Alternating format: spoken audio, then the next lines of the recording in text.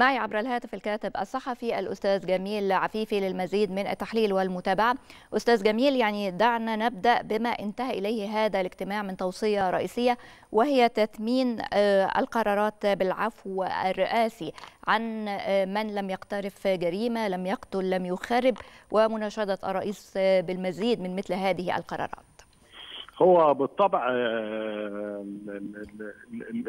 عمليات الافراد عن المحتجزين احتياطيا. ده كان شيء مهم جدا ومطلب مهم من كافة الطوائف اللي موجودة وبعض الأحزاب.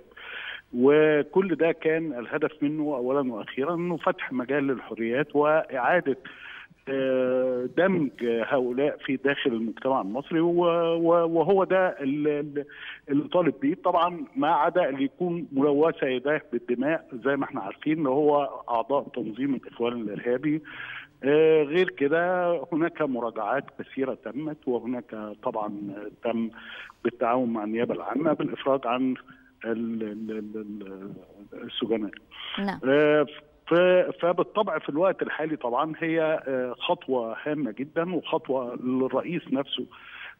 كان اللجنة دي كانت معمولة من فترة طويلة جدا اللي هي لجنة المراجعة للسجناء وتم طبعا الإفراج عنهم وكل ده بيأتي في إطار الجمهورية الجديدة وإن زي ما قال سيادة الرئيس إن الوطن يتسع للجميع والاختلاف في الرأي لا, يفسد للوطن أي قضية. طيب أهمية القضايا التي تم اختيارها فيما يتعلق بالمحور السياسي وهي المتعلقة بأهمية وجود قانون للمحليات ومن ثم إجراء انتخابات المحليات أيضا مباشرة الحقوق السياسية وحقوق الإنسان خاصة إنه تم الاستناد فيها على وثيقتين رئيسيتين هي وثيقة حقوق الإنسان رؤية مصر 2030 وكذلك الاستراتيجية الوطنية لحقوق الإنسان.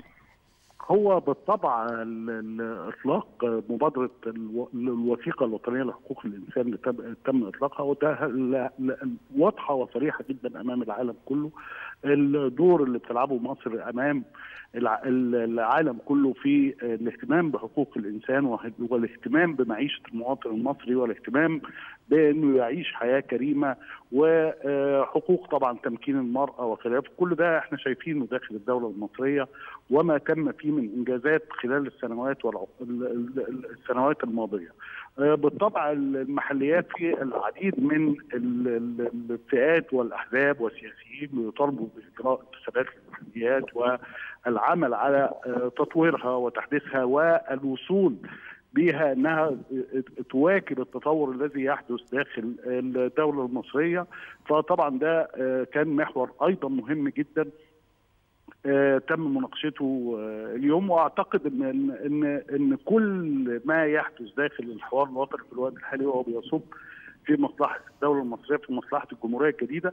وزي ما شفنا حتى الأستاذ ضياء وهو بيتحدث إن كل الأمور مفتوحة للنقاش ما فيش حد يعني ما فيش أي حاجة محظورة داخل الحوار. كله بيتحدث وكله بيتكلم من أجل الوصول لنقاط هامة يتم وضعها من أجل الدخول إلى الجمهورية الجديدة ومن أجل طبعا يكون في الحرية والديمقراطية والحوار بين كل طوائف الشعب نعم كانت هناك نقاط أستاذ جميل جديرة بالتوضيح من المنسق العام لمجلس أمناء الحوار الوطني وهو المتعلق بآلية هذا الحوار وآلية عمله وكيفية اختيار المشاركين فيه من القوى السياسية. في معرض بعض الأسئلة كان هناك حديث عن ضرورة مشاركة فئات من المجتمع. ربما كان هناك توضيح مهم في هذا الشأن. وهو أن هذا الحوار ليس حوارا فئويا بل أنه حوار متعلق بالحقوق العامة. إلى أي مدى هذه النقطة جديرة بالتوضيح خاصة وأن هناك جهات اختصاص بهذه الفئات مثل المرأة وذوي الهمم وغيرهم هو بالطبع من الجلسة الأولى للحوار والأستاذ ضياء رشوان بيؤكد دائما أنه لا فرق بين كافة طوائف الشعب الحوار لكل طوائف الشعب لا يمكن إن إحنا نفصل جزء عن جزء وعن الوطن. لكن في النهاية إن الكل ممثل والكل من حقه إن هو يقدم مقترحاته والكل من حقه إن هو يحط كل الأسباب اللي هو بيرغب فيها وكل الاستفسارات التي يرغب فيها وكل الأسئلة وكل الحوارات. هو كل الأستاذ ضياء وفي آه كمان شيء مهم جدا اللي هو على الموقع بيتلقوا ال ال ال ال إدارة الحوار بتتلقى آه كل الاستفسارات وبتتلقى كل المقترحات وبتتم آه دراستها فما فيش أي فرق بين المواطنين المصريين ايا كانت فئاتهم أو ايا كانت رؤاهم أو أو محافظاتهم زي ما كان طرح هذا السؤال في في ال الجلسة الأولى. نعم.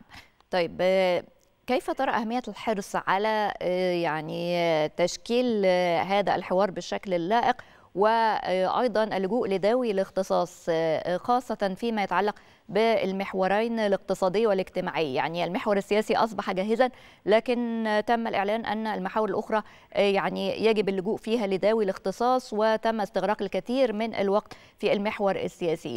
إلى أي مدى هذا يشير إلى الدقة في التحضير لجلسات الحوار الوطني؟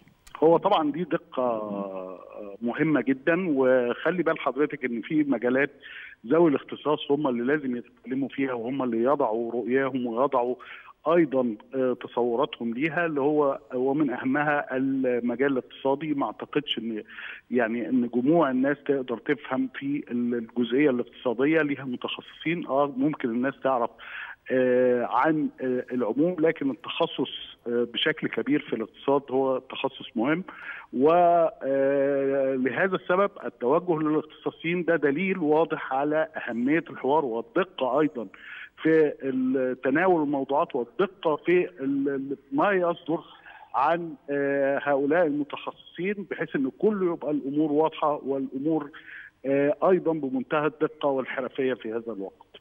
نعم. أشكرك جزيلا الكاتب الصحفي الأستاذ جميل عفيفي